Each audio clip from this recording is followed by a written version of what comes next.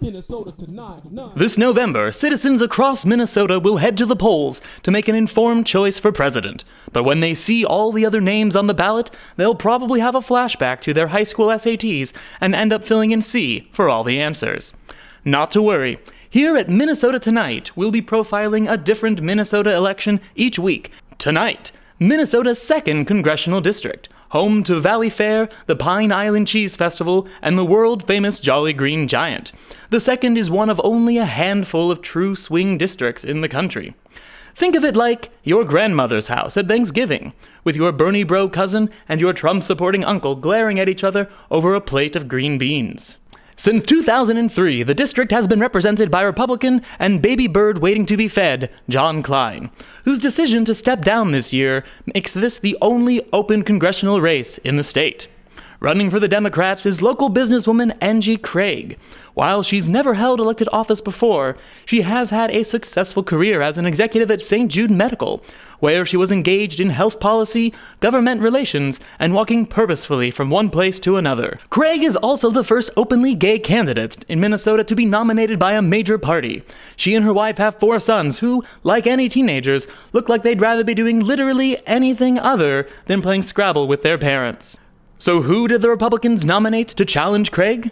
That would be former conservative talk radio host and bargain bin Robert Redford, Jason Lewis.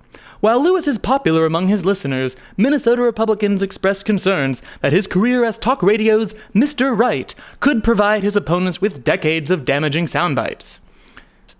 We here at Minnesota Tonight wondered how bad can these sound bites really be? Here to tell you how bad these sound bites can really be is Jason Lewis himself. You know, Reagan had amnesty, and after that, we lost the Hispanic vote. Vote. The problem is it's the fastest growing population in the country.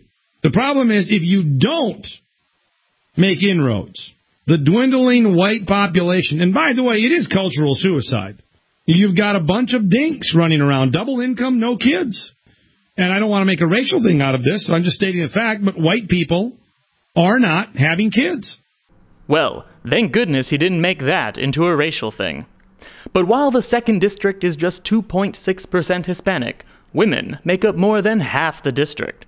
While working at St. Jude Medical, Angie Craig launched a highly successful program to elevate more women to upper management positions. What does Jason Lewis have to say to these glass ceiling breakers? A, a vast majority of young single women who couldn't explain to you what GDP means. You know what they care about? They care about abortion. They care about abortion and gay marriage. They, they care about the view. They are non thinking. That's right. Real solutions, like Lewis's call for a constitutional amendment allowing states to secede from the Union. You know, going forward. Basically, his point is that just because he said something horrible in the past doesn't mean he's going to put those words into action. Right, Jason? I'm Jason Lewis. Every day on the radio for 20 years, we've talked about solutions to our biggest problems. Now, it's time to put words into action. Wow, did we mention this race is still considered a toss up? This has been Running Commentary, reminding you all to please, for the love of your mother's green bean hot dish, go vote. Minnesota tonight.